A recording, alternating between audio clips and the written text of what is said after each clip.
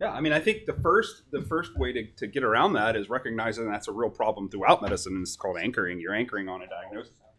Yeah, you can do an ultrasound. Um, so, I mean, first recognizing that that can be a problem, right? You can anchor on a diagnosis. You know this is a diagnosis, and come hell or high water, this is what I'm treating.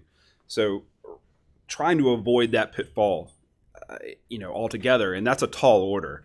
Um, so be aware of it. Uh, the next thing is is that if they're not responding to your medical therapy, so if you're given that nitroglycerin and they're getting worse, step back, ask yourself, maybe there is something else wrong, right? There is other things that cause chest pain that are life threatening, and make sure you're running that list in your mind and you're taking the necessary actions to rule that diagnosis out.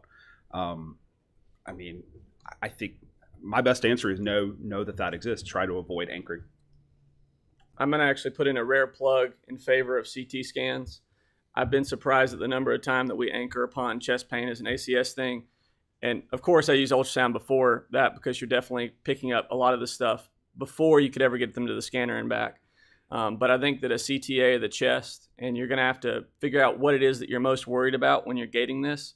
There's the, the dream of the triple threat of one scan that can rule out coronary occlusion with the coronary CTA, PE with the CT angio of the lungs, as well as ruling out aortic dissection, isn't quite there.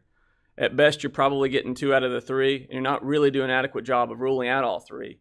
That being said, if you talk to your radiologist and you got a good radiology department, you can say, look, I got this guy, here's what I'm looking for. I'm more worried about X and Y, a little bit worse, less worried about, you know, the coronary CT or something like that. You're going to pick up most of those guys with troponins, but a CTA ruling out PE is going to pick up most, but not all aortic dissections.